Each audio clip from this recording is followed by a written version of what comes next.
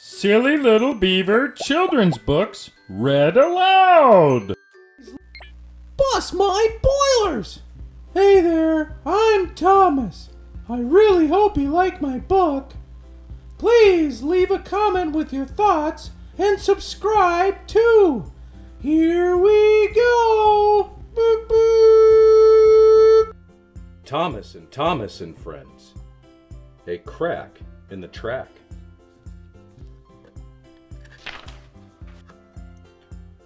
Crack in the track. Illustrated by Tommy Stubbs. Based on the Railway series by Reverend W. Awdry. Henry the Green Engine had a boiler ache. Peep, peep, said Thomas. I can take the people where they want to go.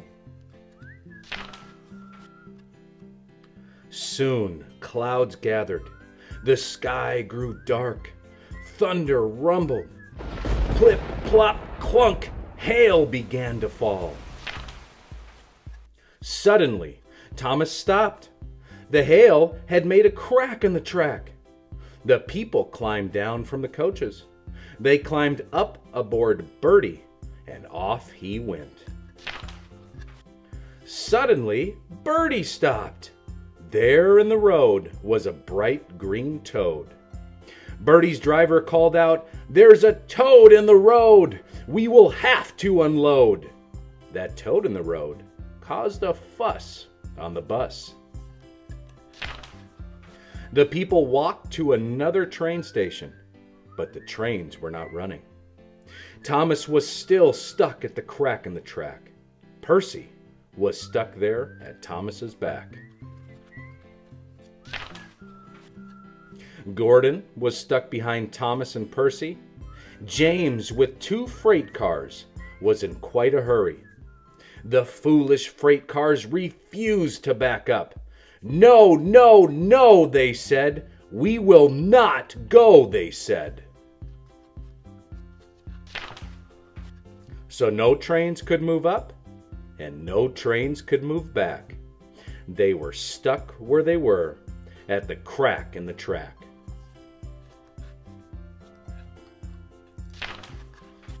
The breakdown crew came to replace the broken track.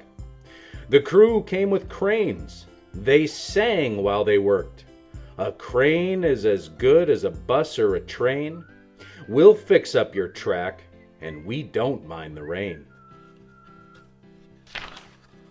Finally, all the trains could move. They turned on the turntable and went back to work. At the station, the people asked Thomas, Are you sure you can take us where we want to go? I thought there was nothing a train could not do, said Thomas. But now I know that just is not true. I learned a big lesson from one little crack. A train is only as good as its track. The end. Thank you so much for going on that adventure with me. Please be sure to comment with your thoughts and subscribe to the channel. Enjoy the rest of your day. I'm gonna find something to eat now. bye bye.